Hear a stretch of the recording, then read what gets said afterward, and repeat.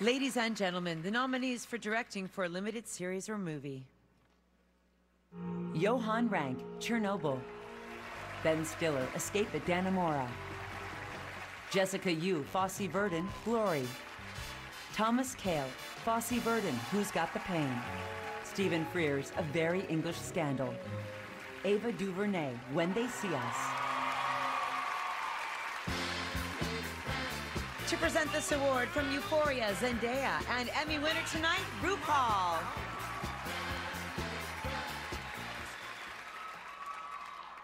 RuPaul, last week you won your fourth consecutive Emmy for Outstanding Reality Host. What are you gonna do next? Well,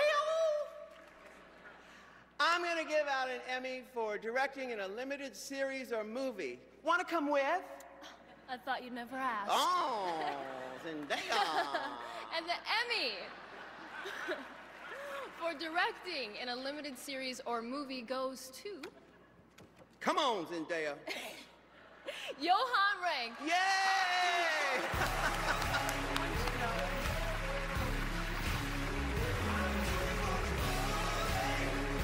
Chernobyl was filmed in Studio City, California, in front of a live audience.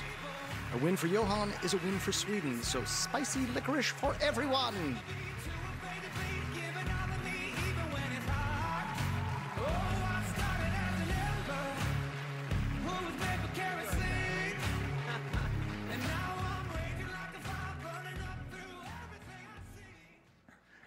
Well, thank you.